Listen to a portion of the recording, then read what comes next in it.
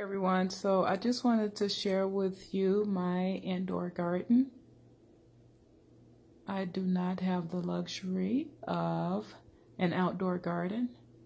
I live in a condo apartment, but because I do enjoy the beauty of nature and all of the health benefits that plants provide,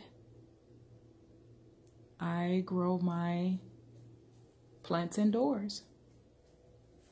I've got basil there. I've got some green onions growing.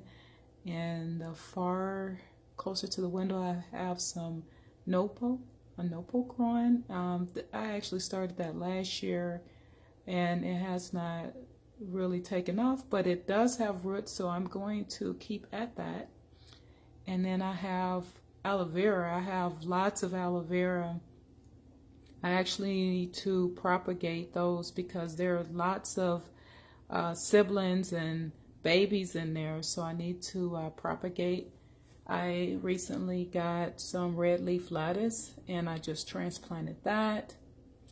And here I have, I think this is the devil's tongue. I've had this one for, I think, a couple years now. It's pretty large.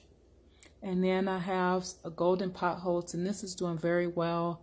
I think I'm going to propagate that.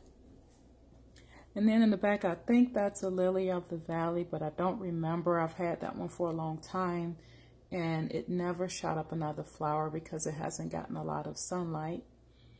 And then this is, I believe, uh, one of my fern trees. I actually just transplanted that, um, there was a lot of children, a lot of offspring from the original plant.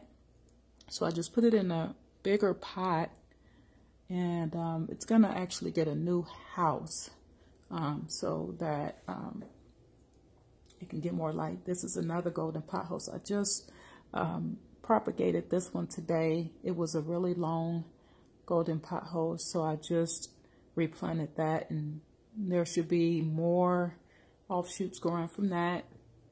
A lot more aloe vera, a lot more babies that have been um, grown from that. So those are going to get propagated as well. And then I just propagated another golden pothos here.